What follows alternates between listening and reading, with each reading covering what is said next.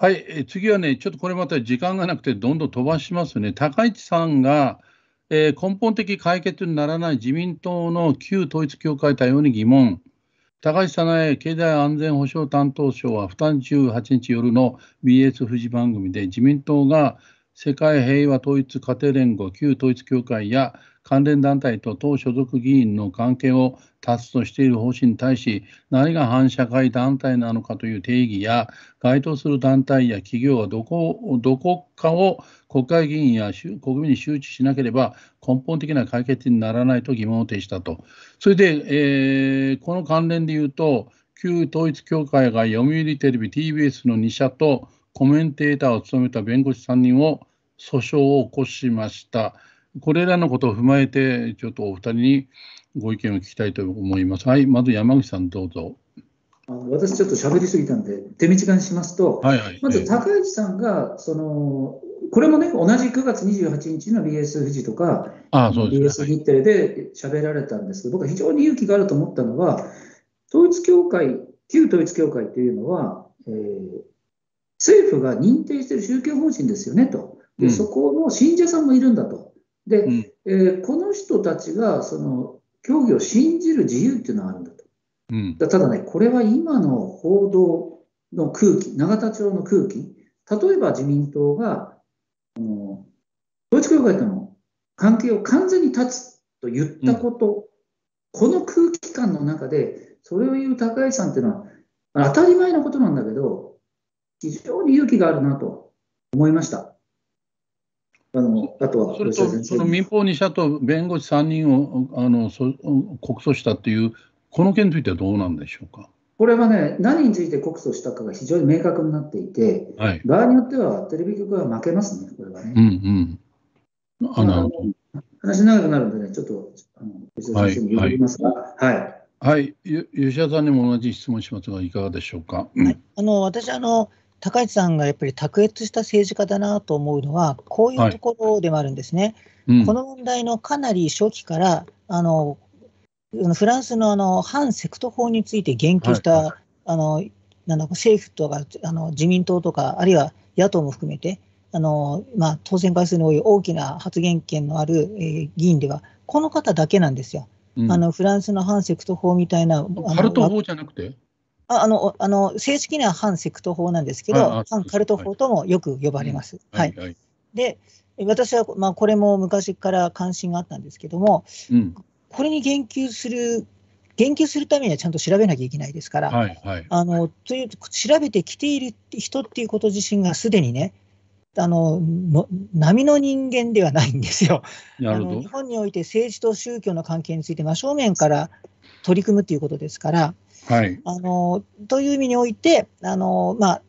支持していますし、でやっぱりその、うん、えー、何が反社かという定義なく反社反社って言っちゃいけないんですね。はいはい、あの実は先日のあの長野区議会でも共産党の議員がね、あの統一教会が反社だって断定して、反社だということを、まあ、あの広く知らし示さなければいけないみたいなことを言っていて、これ、議事録に残ると大丈夫か、この人と思いながら聞いてたんですけれども、はい、あのもう暴対法なんかがないとなかなかね、あの暴力団とのお付き合いをこの断りきれないみたいなあのことと同じように、何が反社会的行為か、誰が反社的な組織か、構成員なのか、準構成員なのか、どこまでなのか、であるいは関係団体はどうなのか、フロント企業はどうなのか、いろんなことをちゃんと厳密にやらないと、あの例えばあの僕のところにはあの、ビューポイントっていう統一教会の雑誌が送りつけられてきますよ。なるほど。あの頼んだこと一度もないですよ。だけども、はい、でそれをじゃあわざわざ電話して送らないでいくっていうことも別に言っていません。でも同じように、例えば JR 総連とかね、はい、こういうところからも解放来ますよ。頼んだこともないのに。はい、議員のところには、あるいはあの他の宗教団体からも、会ったこともない宗教団体から、なんかこう、来ますよ。うん、でも、それは信じるとかそういうことじゃなくて、社会にはこういう人たちがこういう運動と活動と行動をしているということを知るために、僕は別にあの着信拒否とかね、あの郵便拒否とかしないで、うんって一応見ます。はい、でもそれをもって、じゃあ僕は朝鮮あの、えなんえー、JR 総連とズブズブだっていうのか、あるいはその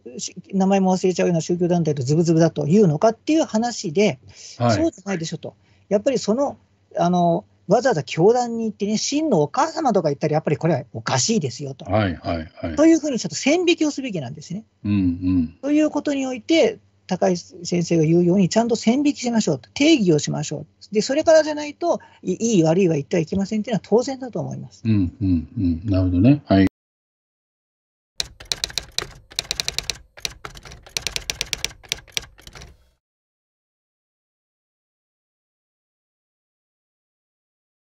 それから一つだけ積極的なことを取り上げたいんですけど、安倍派近く新執行部体制を発表へ公認会長が焦点、自民党安倍派は29日、会長の安倍晋三元首相の国葬後初の総会を党本部で開き、塩谷隆会長代理が近く新たな執行部体制を発表する考えを示した。新体制で安倍氏の後任の会長人事が焦点となっていると。まあ、そのことと、この安倍派の総会で、村上誠一郎に対し、えーえ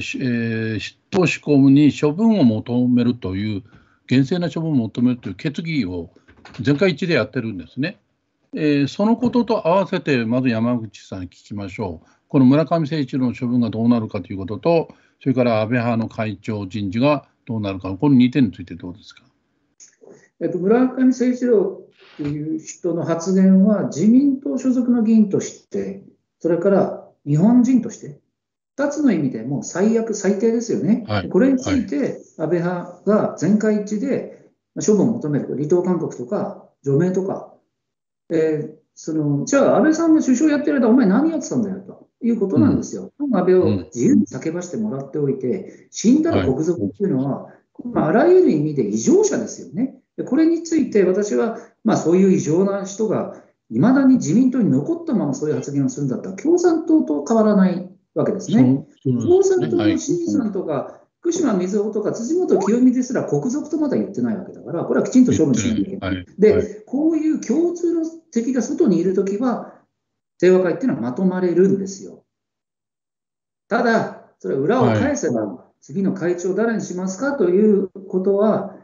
ほぼ解のない方程式であって、なるほど。うん、うん、はっきり言って、まあ、安倍さんがいる時から清和会というのは、もう4つに分かれてたんですね。うん、それはこの間の総裁選で、岸田さんがやった松野博一さんグループと、それから高市さんがやったグループの中でも、高市さんと近しいグループと、安倍さんに言われたから高市さんがやったグループ、うん、でその農家に河野太郎をやった人たちもいますね。うん、近いあの清和会っていうのは、そもそもが4つぐらいの、まあ、分派に分かれていたんですね、うん、そもそも、日進目というよりも別の集団とも言っていいぐらいだった。でそこには別に福田派とか安倍派じゃなくて、もっとリアリスティックな対立があったんですよ。うんうんうん、安倍さんだったから持ってたの安倍さんって何、安倍さんがもうこの世にいなくなっちゃった今は、はっきり言ってその統一したその派閥としての手を全くなしてないんですね。うんうんうん、も会は安倍さんの生物的 DNA を背負っている岸信夫さんが派閥の領袖になること、うん、それ以外はこの四分五列している清和会を一個の有機的な集団としてまとめることは不可能だっていうのは私の見方ですね。最後のおっしゃられた岸信夫さんがっていうのは、もう私も全く同じ考えを持ってて、それ以外の人間だと、まあ、好きだ、嫌いだ、なんとかだって、批判ばっかり出て、結局、四分五裂するんですよ。唯一、安倍さんの実の弟が出て、本人もインタビューなんかで受けて、私が後を継ぐって言ってんなら、じゃあやってもらいましょうと、もうまとめるのはこれしかもうないですよ。私、全くそう思いますよね。はい、吉田さん、こ,、まあ、この件というよりその、その前の村上誠一郎さんの処分について、特にお聞きしたいんですけど、お考えを。どうぞ。はいまあ、やっぱりその自党の総理総裁をやった人をね、うん、あのその生前とか、まあ、現職にある時にでなくてね、死後、口が聞けなくなってから後付けで国葬騒ぎの尻馬に乗ってね、うん、あの野党の一員であるかのように国賊呼ばわりするような方は、東電処分すべきであって、えー、私はまあ、えー、除名、除籍か、少なくとも、えー、次の、えー、選挙までは、えー、公認しないと。一、回無所属で頑張ってらっしゃいというのが、まあ必要だと思います。うんうんうん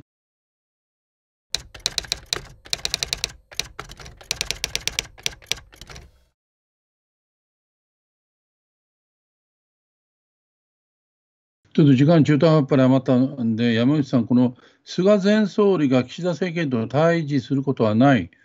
これ TBS ですね、支持率が急落する岸田政権をめぐり、えー、菅前総理は今後とも岸田政権と対峙することはないとして、政権を後押しする考えを示したと、うんぬんということですが、どうなんでしょう、国葬の時のあの挨拶も含めてですね、菅さんが結構岸田さんと融和的なのかなという印象はですよ、私はすごくそう思思ってるんだけど、えー、菅さんは岸田さんを支えて、なんとか次の展開をというのが見えてるんですか、何か、どうなんでしょう？要するに菅義偉っていう政治家がどういう政治家かっていうのを考えたときに、はい、やっぱり安倍晋三という個人に浸水した、うん、えー、政治家と見るのが一番あの僕は正しい見方なんだと思うんですね。で、えー、菅さん自体は非常にリベラルな人で、うんうん、選択的夫婦別姓賛成だし、うん、そうですよね。そうだリベラル政策、大体ほとんど賛成なんですね。で、これは実は岸田さんと同じなんです。うん、なるほど、なるほど。これから、えー、前回の総裁選で、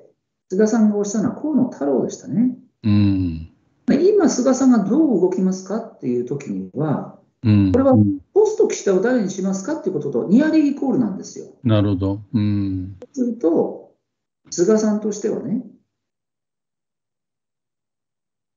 まあ、岸田さんの次を河野太郎にするためには、岸田さんと組んでるのがいいに決まってるんですよね。はっきり言って。ただ、僕はね、あれだけ感動的な弔辞を安倍さんに対して述べた菅さんはね、じゃあそれが